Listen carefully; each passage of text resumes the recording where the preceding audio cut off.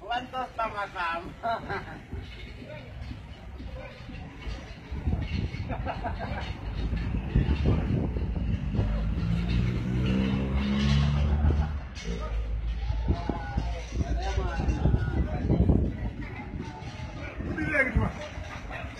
Kaya yung narinig, pwede na.